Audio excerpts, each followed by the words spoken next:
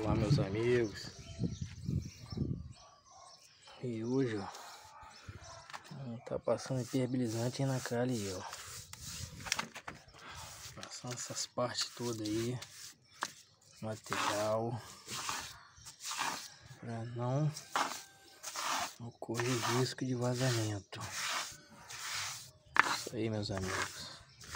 Daqui a pouco aí tem mais vídeo aí só se inscrever no canal aí, curtir, comentar. E é isso aí, meus amigos. Vamos dar uma permeabilizante aí na calha. Você que não viu o processo aí do, do vídeo aí, como foi feito essa calha. Já entrei no canal aí. Dá uma espiadinha aí que tem mais vídeo aí como foi feita essa calha.